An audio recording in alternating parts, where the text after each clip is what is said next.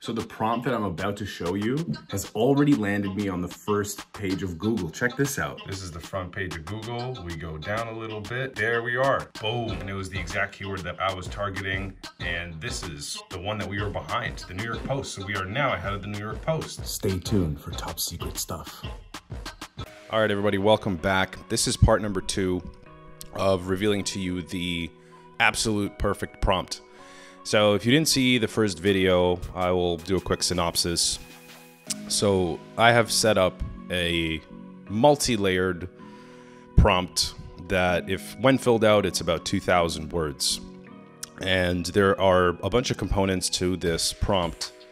You can see the first part is very structural, uh, giving a guidance for the structure. And then here, here's the additional information and requirements for the blog. So I've set it up so you can have bullet points there, so that's very nice and it gives the AI, whichever you're using, some kind of structure, right? And gives some kind of better guidance. So in the first video, we discussed brand and tone. So those were two very important pieces. If you want to take a look, I'll leave the link to that video. In this video, we are talking about two other very, very important uh, considerations and prompts. So things to include in your prompt. The first one we will talk about is the target keyword. So, op seems obvious, but you still need to create, do some of your own keyword research. Everyone has their own process and plug in the target keyword as like this into the prompt. So for myself, everyone has their own way of doing it. I went through first Google Ads keyword planner. I found some keywords that were trending in the right direction. Uh, I think I landed on this one. And then another way that you can cross-reference, and I'm, I'm just using free tools because not everyone has the paid uh, SEMrush tool. I mean, that thing's like a hundred bucks a month, so totally understand. Uh, Ahrefs actually has a neat keyword generator that it shows you the volume, the monthly volume, and the keyword difficulty. So this is the one I chose, 150, pretty good keyword difficulty. I like that. That's not bad. So we're gonna use this excuse me. And then what you're gonna do is simply, let's do without formatting. There you go. Post that. I'm trying to, you probably already saw it anyway. Doesn't matter. Uh, another thing you can do with this actually, I'm constantly updating my prompts because from each piece, I'm like, oh, it's missing this, it's missing that. So I'm constantly making updates. What you can add is how many times you want them to actually use this keyword. Depending on which AI you're using, they might miss it sometimes. Usually it's pretty good, but doesn't hurt to even further specify.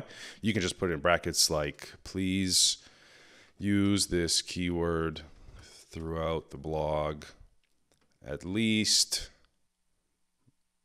I don't know, six times, something like that. So that part is fairly simple.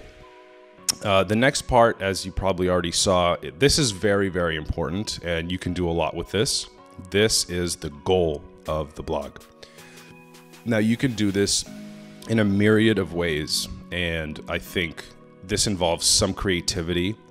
So, you know, I don't like the plug and play stuff. Like, anytime you're dealing with a creative form of digital marketing, you're going to have to use some creativity. We can't, you know, people can't do all the work for you, which is what makes your content stand out and be unique.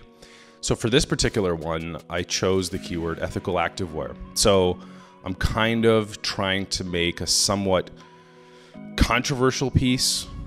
So you can go about this keyword in many different ways, right? And if you don't guide the AI you're using, it's just going to do something random. So it's always better to have the goal of the blog. And I've been doing a lot of research on ethical activewear, and there's lots of companies that are claiming they're ethical, but really it's just lipstick, lipstick on a pig with slave labor and you know using unhealthy inputs for the manufacturing. So this is an example. Uh, let's try to zoom in so you guys can see better. So this you can set up on your own, but it's a very important piece you're going to want to plug into the prompt. I've written the goal of this blog is to take a deep dive into the active clothing manufacturing industry, open the eyes of the target audience. Now, as a preview, the target audience will be a separate section in the blog. So if you have this prior, the AI will know, okay, I know which target audience I'm speaking to. Uh, the target audience are individuals who are active, they have disposable income, and fans of activewear, athleisure clothing, and everything in between. These people normally don't look at price tags and they don't look at how the clothing is made either. Companies like Lululemon, Nike, and Patagonia preach their sustainable manufacturing. So I'm not going to read the whole thing, but I'm trying to, at the end, you know, the goal of this blog is to be thought provoking, controversial, and push the boundaries. And finally, this should push some type of emotional response that digs deep and forces readers to take action.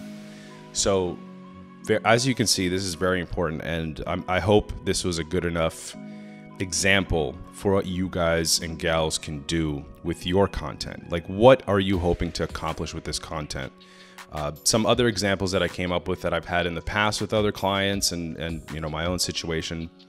Uh, other examples, you can lead them to visit other pages on your website.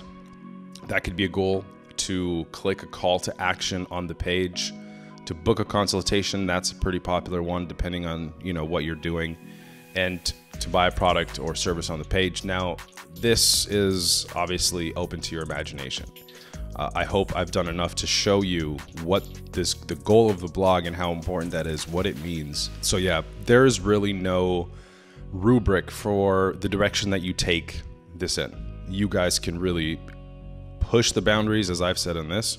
You guys can do whatever you want with it, and as long as you provided some good information and direction, I think it's going to give uniqueness to your blog, which I speak in every video. Each blog is the goal is to be unique. You don't want a cookie cutter approach. Like when you go on Google, every article seems to be the same. It's the ones that stand out that are different. In the end of the at the end of the day, are the ones that are going to be higher up on Google.